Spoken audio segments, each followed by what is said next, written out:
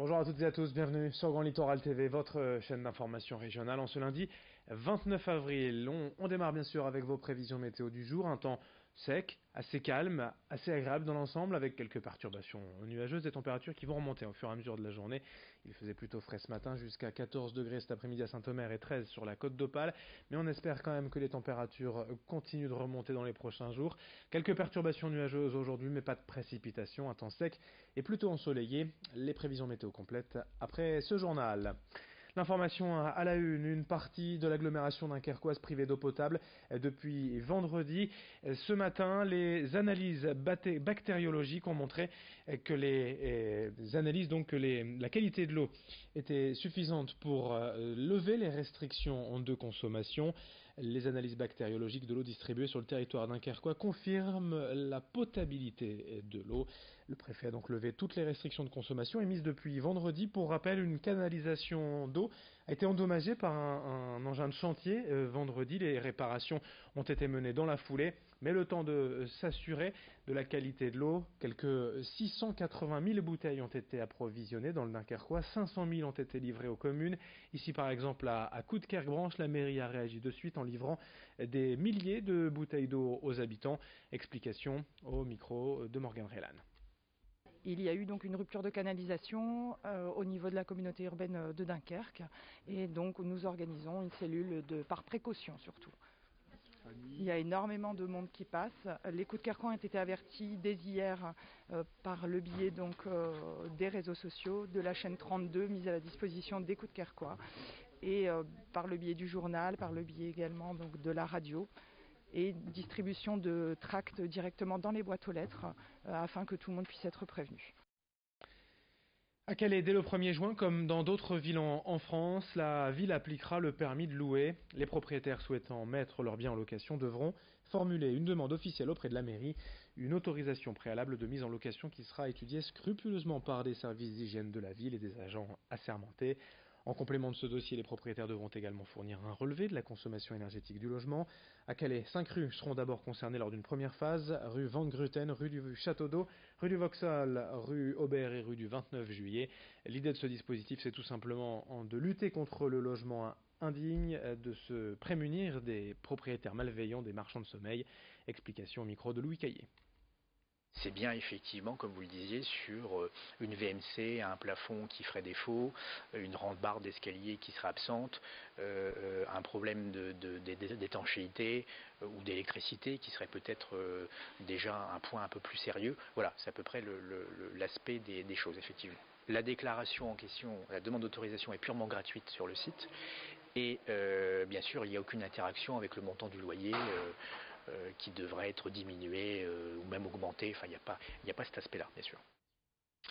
On enchaîne avec les chiffres du chômage publiés vendredi par Pôle emploi, désormais publiés tous les trois mois. Pour le premier trimestre 2019, 175 500 chômeurs de moins dans le Nord, à peu près 7 000 en moins, c'est 2% de moins sur le trimestre, moins 3,6% sur un an.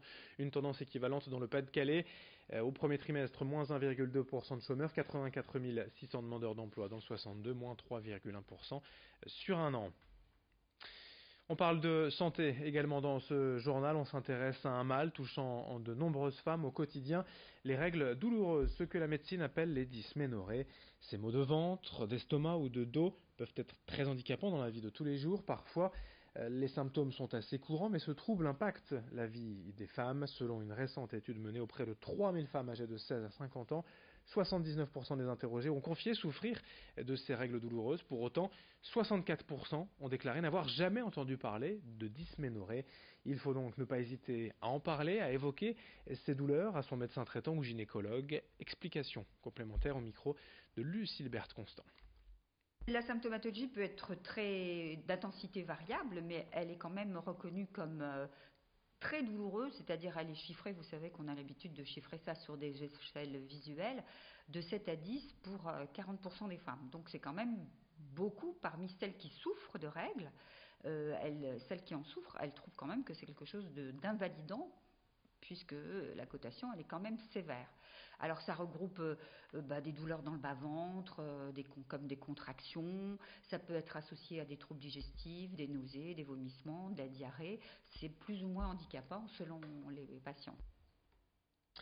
Le concours des mini-entreprises, les rendez-vous de l'entrepreneuriat dans la région en tournée dans les Hauts-de-France, dans 13 villes de la région. Sur ces images, un salon organisé par l'association Entreprendre pour apprendre qui accompagne les élèves de collège ou de lycée pour donner le goût de l'entrepreneuriat. Ces élèves ont depuis la rentrée fabriqué de A à Z une mini-entreprise pour vendre un, produit tout au long de l'année. À la fin de leur projet, ces élèves participent à ce salon pour eh bien tenter leur chance au concours territorial des mini-entreprises qui les emmènera peut-être au concours européen à Lille début juillet. Une enseignante euh, du projet, deux enseignantes même du projet, nous donnent leur avis sur ce que ce projet de mini-entreprise peut apporter aux élèves.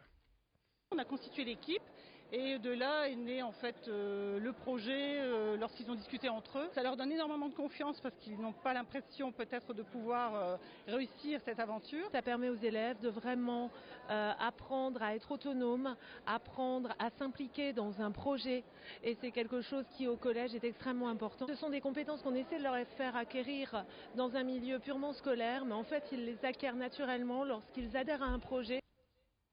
Et puis on termine avec quelques images d'un nouveau belvédère à Grosflier, inauguré afin d'admirer la baie d'Oti. Financé par le Conservatoire du Littoral et Eden 62, le parcours a été adapté aux personnes en mobilité réduite, même si le chemin nommé Allée des Roses demande un peu de courage sur les pentes montantes. C'est finalement pour découvrir ce magnifique point de vue sur la baie grâce au belvédère fraîchement installé qui offrira aux visiteurs un superbe panorama à Grosflier des images signées Marine Kijek. Quelques résultats de sport également à vous donner en basket, en Jeep Elite. La victoire du BCM Gravelines Dunkerque, large victoire d'ailleurs à domicile ce week-end, 116 à 85 face à Fos-sur-Mer. En revanche, euh, le SSM continue d'inquiéter, défaite à Cholet 81-79, le SSM relégable, menacé de descente en, en Pro B. Fin de ce journal sur Grand Littoral TV à suivre vos prévisions météo et un, un autre journal dans moins de 8 minutes lors du prochain quart d'heure.